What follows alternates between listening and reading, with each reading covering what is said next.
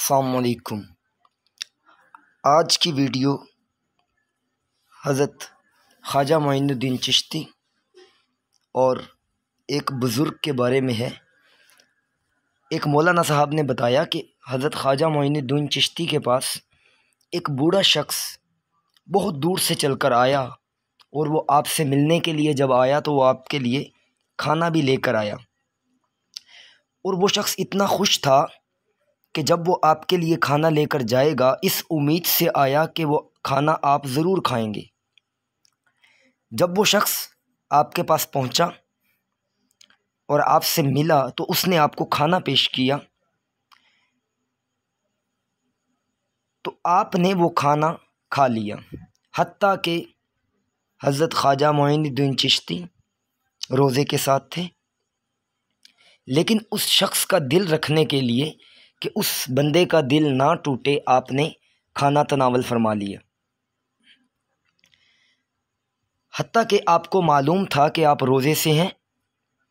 जब आपने वो खाना खा लिया तो पास खड़े एक शख्स ने आपको याद दिलवाया कि जनाब, आप तो रोज़े से थे और आपने रोज़ा होते हुए भी खाना उस बूढ़े शख्स से लेकर खा लिया। हज़रत ख्वाजा मोइनुद्दीन चिश्ती ने एक बहुत प्यारी बात की। आपने उस शख्स से कहा कि, मियाँ, रोज़े का तो कफ़ारा है, लेकिन दिल तोड़ने का कफ़ारा नहीं। मतलब हज़रत ख्वाजा मोइनुद्दीन चिश्ती ने उस बूढ़े शख्स का दिल ना टूटे इस बात को मद्देनज़र रखते हुए, वो बूढ़ा शख्स जो खाना लाया था, वो आपने तनावल फरमा लिया और वो खा लिया। और इस डर से कि यार कहीं उस बुज़ुर्ग का, उस बूढ़े शख्स का दिल ना टूटे।